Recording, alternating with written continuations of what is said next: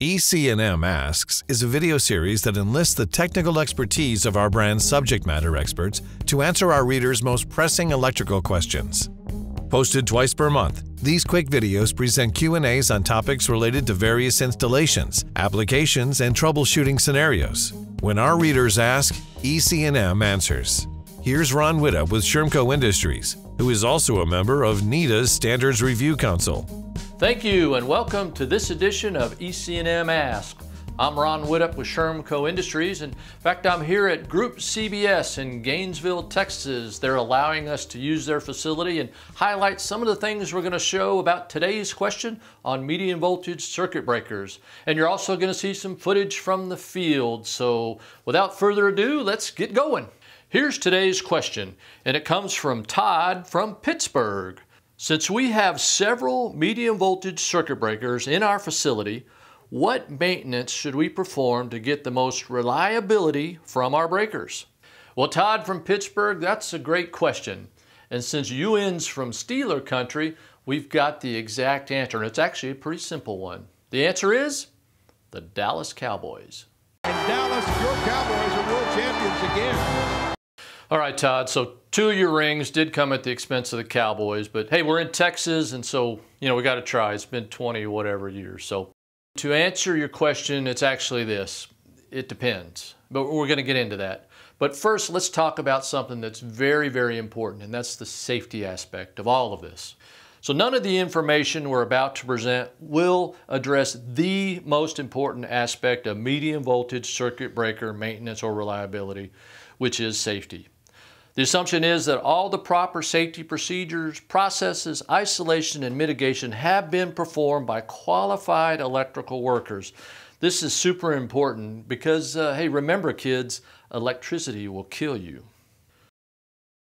So Todd, back to that answer on all things electrical, and it depends. It's going to depend on the overall condition of the equipment, the reliability requirement, the environment it's in, and many, many other factors.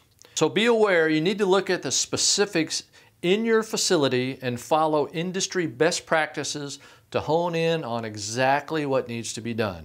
Since we only have a few minutes here today, we'll hit the high points of the most common aspects of field inspection and testing, and we'll suggest a normal set of conditions that would be found in just about every industrial facility. So let's make some basic assumptions. The equipment is in decent shape, or it might even be fairly new. If it has some service age to it, there's been some level of maintenance performed through the years. The equipment type is either medium voltage air or medium voltage vacuum circuit breakers. The equipment can be de-energized and taken out of service for these maintenance tasks. So it comes down to this. I see Todd. Inspect, clean, test, operate, document. Again, or as we see it, I see Todd. Okay, Todd, uh, all right, I just made that up, but, uh, but you know, really it's not that bad of an acronym, but, but really there's three places we need to go. First, you need to go to the manufacturer's recommendations. You know, the manufacturers will typically give you some guidance, but it's far from comprehensive. Second, you have NFPA 70B for the Electrical Maintenance Program, or EMP. The 70B will help you make decisions on your overall maintenance program and provide you guidance on how to do things.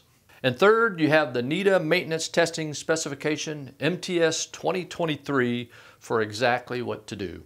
But the real key to specific tests, including visual, mechanical, electrical, and importantly, the expected results, will come from the NETA Maintenance Testing Specifications, and in this case, Section 7.6. So we've got these three elements of industry best practices, and we're honing in on the best thing for you to do for your circuit breakers. So let's go back to IC Todd. First up we have inspect. Visual and mechanical inspections are really important, especially with medium voltage equipment. Tracking, contamination, dried or hardened grease, slow operation, squeaking, these can all be problematic. And the best resource for identifying these issues, the qualified electrical worker. You know, NETA will provide you a list of all these things you should do, what you should inspect, but it's up to you to put somebody on the task that actually knows what they're doing. Next up, we have clean. Another one of the most important things you can do to ensure reliability. Make sure that it's clean inside and out. You know, as qualified electrical workers, we're some of the highest paid janitors on the planet, and it's something we can be proud of. Because it takes that experience to identify those things that make a difference, and it's so important when you're talking about medium voltage equipment. I can't tell you how many times we found points of failure or misoperation because a piece of medium voltage equipment, especially circuit breakers, were not clean or cleaned properly. Next up, test. NETA maintenance specifications provide you with great guidance for testing requirements for both air and vacuum circuit breakers. Refer to section 7.6.1.3 for medium voltage air breakers out of the ANSI standard the NETA 2023 Maintenance Testing Specification, or MTS, and 7.6.3 for medium voltage vacuum circuit breakers. So let's take a look at section 7.6.1.3, first category A, visual and mechanical inspection. Section B is the electrical tests. Section C, we have test values, visual and mechanical. And section D, we have test values, electrical. I want to point out also some of the tests have asterisks by them. Those are classified as optional tests.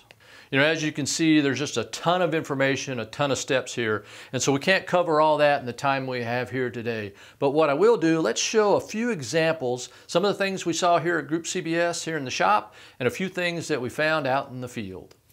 Next up, operate. An important part of testing and maintenance is actually operating the equipment and operational tasks are embedded in the visual, mechanical, and electrical testing portions of the NETA specifications, as well as the manufacturer's instructions. You know, rack the breaker in, rack the breaker out. Check the smoothness of the shutter operation. Check truck operated and mechanism operated contacts. Test the tripping operation from protective relays. Charge, close, and trip the breaker in the test position. These are just but a few of the very important operational tests that you can perform. You do this while the breaker is off and out of service and look at it very closely because it's really important. And finally, D for document. If you didn't document it, it didn't happen. Okay, so maybe it did happen, but your boss is going to be much happier when he can justify that maintenance dollar spend to others, you know, the boss's boss, and when you can clearly show what we did to improve safety, improve reliability, and this all happens through the quality of our documentation. And for best practices guidance, refer to section 5.4 of the NETA testing specifications. It will provide a roadmap for your documentation journey, so don't lose sight of this one. Okay, Todd, that's about it. That's about all the time we have for today. But to get back to the original question and the original answer, which was I said it depends. Hopefully, you've seen here today is you've got three great industry resources to hone in on, and that's the manufacturer's recommendation, NFPA 70B, and importantly, those NETA testing specifications is to tell you exactly what to do on that medium voltage breaker. Take a look at your facility, make some decisions, apply those NETA testing specs, and we'll see you in the Super Bowl. EC&M Asks is a production of EC&M Magazine, a part of the portfolio of Endeavor Business Media publications. Tune back in for our next episode coming soon to the members only portal.